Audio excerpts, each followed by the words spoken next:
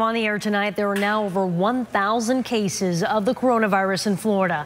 The State Department of Health reports 19 new cases right here in the Tampa Bay area, with Hillsborough County ranking as fourth in the state with the highest number of cases. Good evening and thank you for joining us. I'm Isabel Rosales.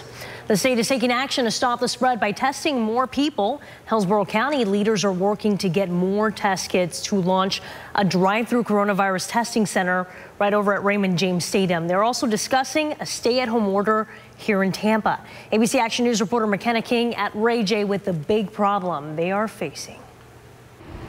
Isabel County officials tell us they're getting 900 test kits from the Florida Department of Health. They also tell us based off of testing numbers at other locations throughout the state, 900 is not enough to get this testing center up and running. County officials not saying exactly how many test kits are needed for the drive up testing center at Raymond James Stadium. Also not saying when the testing center will open for operation, only that it is their top priority. In a press conference Saturday, City of Tampa Mayor Jane Castor saying the state of Florida is doing what they can at this time, but criticizing the work of those higher up. This is the highest level of unpreparedness from the federal government that I have ever seen. Warning people the numbers of coronavirus cases in the county will likely increase. The only reason we don't have a lot of positive cases is we don't have the ability to test on a large scale. And Mayor Castor urging people to prepare for a stay at home order. It will be soon. I would be surprised if it's not by Monday. If not at the state level, at the county level. We don't know if the governor's going to call one at this particular point in time. We were waiting to see what he may do. The order would close down all non essential businesses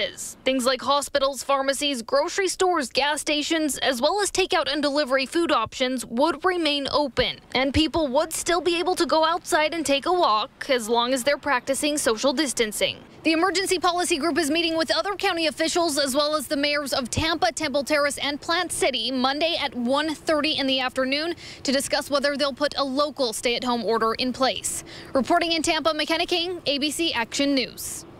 Thank you, McKenna. And ABC Action News is getting answers for you. I reached out to St. Pete Mayor Rick Kriseman to see if he is also considering a stay-at-home option like the one proposed by Tampa Mayor Jane Castor. A spokesperson, spokesperson replying by email saying the mayor is in constant communication with his emergency operations team and, quote, all options are on the table.